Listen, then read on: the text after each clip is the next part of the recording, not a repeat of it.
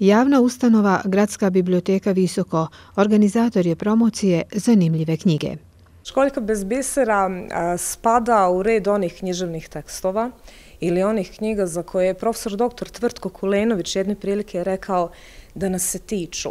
I zaista nas se tiču, jer kada su ove knjige u pitanju, mi sa pozicije čitoca imamo i poziciju svjedoka vremena koje je opisano u toj knjizi. Dakle, autor se bazira na periodu 92-95 i na vlastitom e, iskustvu, jer e, sam je bio e, učesnik rata, bio je na prvim linijama i zaista nas se tiču takve knjige iz razloga što one propagiraju to antiratno pismo, taj književni diskurs koji se zalaže za očuvanje onoga što je bilo na našim prostorima. I mi kao biblioteka, ali ne samo kao biblioteka, nego i e, kao e, pripadnici naše države, imamo tu neku misiju da radimo na očuvanju onoga što je, e, što je naša zapravo e, skorija prošlost. Mi generalno imamo kao čitaoci problem, možda to možemo smatrati fenomenom, da bježimo od takve vrste literature, jer nas kao ona opterečava.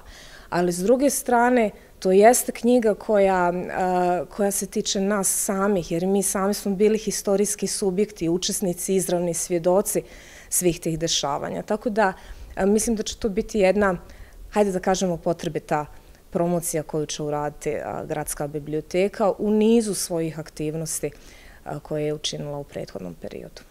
Promocija će biti održana sutra u 19 sati u kulturnom centru Altinda Visoko.